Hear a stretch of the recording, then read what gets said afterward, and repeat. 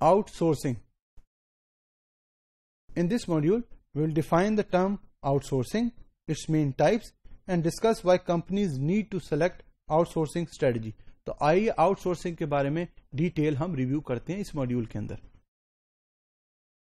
तो सबसे पहले outsourcing refers to hiring party outside of the company so इसके अंदर आप वो लोग हायर करेंगे जो आपकी कंपनी में नहीं मौजूद बल्कि आपकी कंपनी से बाहर to perform services and create goods वो इस वजह से आप हायर कर सकते हैं कि आपने कोई सर्विस बनानी है या क्रिएट करनी है या कोई गुड्स और प्रोडक्ट्स बनाना है that traditionally were performed in house by company employees and staff तो वो स्ट्रेटजी जिसके अंदर आप बाहर के लोगों को इन्वॉल्व करेंगे for the creation of services और प्रोडक्ट और goods for your company company which is the outsourcer enters into the outsourcing arrangement with in another firm तो एक कंपनी दूसरे फर्म के साथ जो है, वो एक कॉन्ट्रैक्ट करेगी to provide service under the contract for certain price and period तो एक specific period which is a time frame और एक स्पेसिफिक प्राइस के अंदर दूसरी कंपनी जो आउटसाइड ऑफ़ द कंपनी मौजूद है, उनके साथ एक कॉन्ट्रैक्ट होगा, ताकि जो भी उन्होंने सर्विस और प्रोडक्ट बनाना है, वो कितने टाइम में, कितने पैसों में डिलीवर होगा to that specific company outsourcing is a new model that provides better value for customers than traditional model of purchasing software, licensing, installing software and managing application upgrade with internal resources. तो इसे emerging and new model जिसमें आप बाहर की company को involve करके जो है सॉफ्टवेयर इंस्टॉल कर सकते हैं डेवलप कर सकते हैं परचेज कर सकते हैं ताकि जो भी जिस कंपनी को आप सर्विसेज़ दे रहे हैं वो बेहतर तरीके से सर्विस हो उसको डिलीवर हो पाए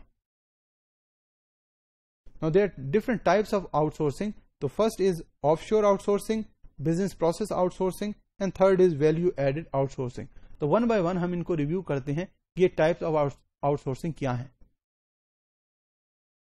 ऑफ़ शोर आउटसोर्सिंग अब आउटसोर्सिंग ए बिज़नेस एक्टिविटी और प्रोसेस अब्रॉड तो आपने कोई बिज़नेस एक्टिविटी जो अपने कंपनी के लिए काम कर रहे हैं उसकी कोई एक्टिविटी को दूसरी कंपनी जो आउटसाइड ऑफ़ योर ऑर्गेनाइजेशन है उसको काम दे दिया ताकि वो उस काम को करे। Strategic practice in which business hire third party supplier तो आपने थर्ड पार्टी जो कंपनी है उसको हायर किया है to perform work in action other than one which hiring business primarily conduct इस ऑपरेशन तो कोई ऐसा ऑपरेशन जो आपने किसी और सप्लायर को, किसी और कंपनी को दिया ताकि वो आपका काम जो है वो कर सके, वो विद इन स्पेसिफिक टाइम होगा और विद स्पेसिफिक प्राइस होगा under that terms and condition of that contract जो भी आपने साइन किया है with that particular company business process outsourcing के अंदर contracting of non primary business activities and function to third party provider तो non business activities जो हैं, जो कोर ऑफ़ द बिज़नेस नहीं है, उसको आप आउटसोर्स कर देंगे ताकि जो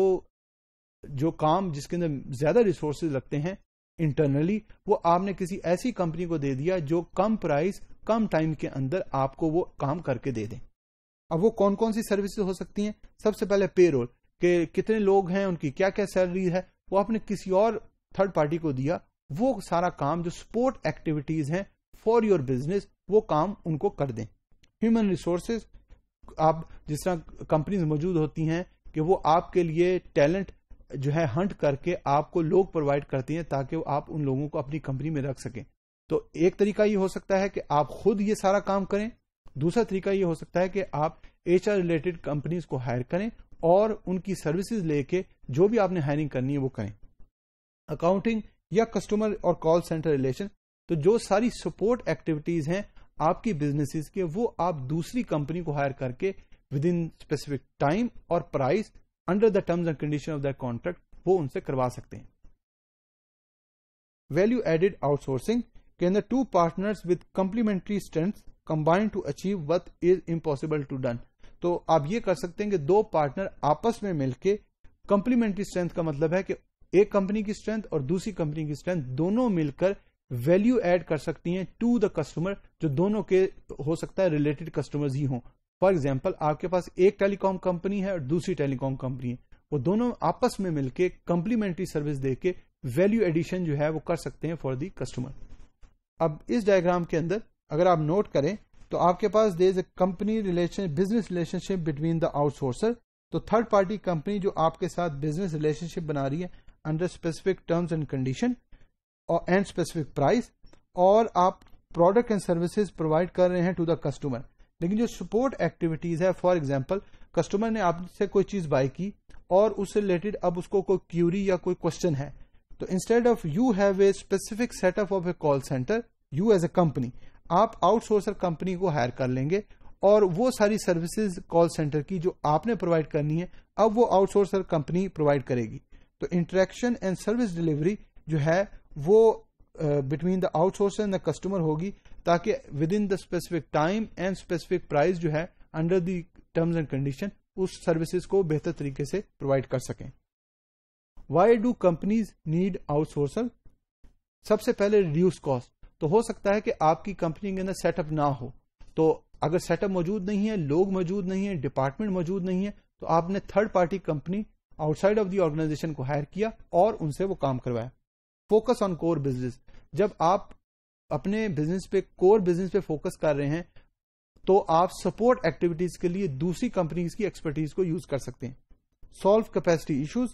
enhance service quality manage business environment and drive transformation change तो वो सारे बेनिफिट हैं और, और रीजंस हैं जिसकी बेस पे आप आउटसोर्सिंग कंपनी को हायर कर सकते हैं ताकि आप बेहतर तरीके से कैपेसिटी इश्यूज़ को सॉल्व कर सकें सर्विस क्वालिटी को बेहतर कर सकें एनवायरमेंट ऑफ़ द बिज़नेस और अपने कोर बिज़नेस पे फोकस रख सकें और ट्रांसफॉर्मेशन चेंज जो आपकी कंपनी में आ रही है, उसको बेहतर तरीके से मैनेज कर सकें। रीजनेबल कॉस्ट एडवांटेज तो क्योंकि जब कॉस्ट कम होगी, आपको कोई नया सेटअप लगाने की ज़रूरत तो आप बेहतर तरीके से कॉस्ट को मैनेज कर सकते हैं। Get access to experience professional तो फॉर एग्ज़ाम्पल अगर आपकी कंपनी फ़ोन बना रही है और उस फ़ोन से रिलेटेड अगर कस्टमर बाय करता है और उसको कोई क्वेश्चन है तो वो ना कि आपकी कंपनी को कांटेक्ट करे, बल्कि जो कॉल सेंटर का नंबर आपने दिया है, वो आउटसोर्सर कंपनी को कांटेक्ट करे, उनसे जो भी एक्सपीरियंस प्रोफेशनल है, उनसे हेल्प ले और अपने इश्यूज़ को सॉल्व करे। तो आप इस तरीके से, बेहतर तरीके से अपने कोर बिज़नेस फ़ंक्शन के ऊपर फोकस कर सकते हैं और कॉस्ट को रिड्यूस करके आप जो आउटसोर्सिंग कंपनी है, उनको यूज़ करके उनकी जो प्रोफेशनल सर्विसेज़ हैं, उनको हासिल कर सकते हैं।